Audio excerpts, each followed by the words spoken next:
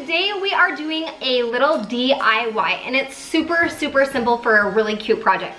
So all you're going to need is your favorite color of spray paint. I have selected Tiffany Blue, this gold metallic, baby pink, and a clear sealant with a little bit of sparkle because I just love sparkles on any occasion. And of course, pineapples. What in the world are we doing? I bet you're wondering. Um, I'm gonna show you a really cute way to spice up a pineapple that you can use as table decor or a signature piece at your parties, events, get-togethers, celebrations, whatever it is that you are putting together. So let's get started. Okay, so we are just going to start off by securing our hair of our pineapple is what I'm going to call it. So all we're going to do is take a old shopping bag and there is really no rhythm or rhyme to how you want to do this. This is just what I'm gonna do. And we're just gonna pull it through and protect the rest of the pineapple.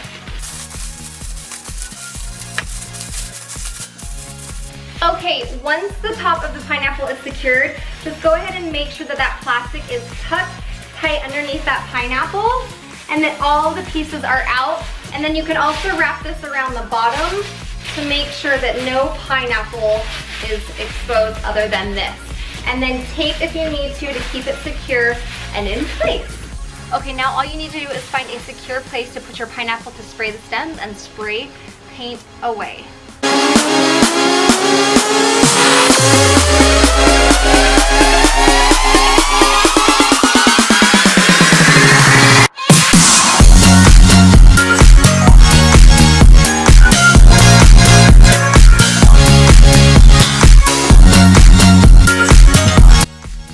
Guys, it is that simple. Now we have darling, bright, excited pineapples. The hardest part of this project is just waiting for them to dry. So you can go crazy, you can make a whole ombre color of pineapples. I imagine them in the middle of the table, kind of going down the table.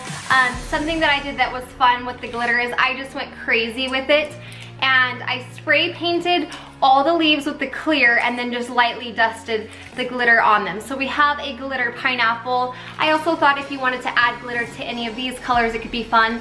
And then this metallic gold one is kind of more in the color line of the pineapple so it doesn't pop as much as these but I think it's a really fun way to decorate a table or a space or just add some color to your table for your party, event, holiday, whatever. So if you know anybody that's having a get together, a celebration coming up, share this video with them. Please make sure you guys like, share, and subscribe. And if you recreate these pineapples, you know I wanna see them. Tweet them to me. The best way to reach me is tweet me at Carlie Stylez with two Z's. All the info is down in the description box below. But I hope you love these and you guys try them and let me know and we will see you next time. Bye everybody.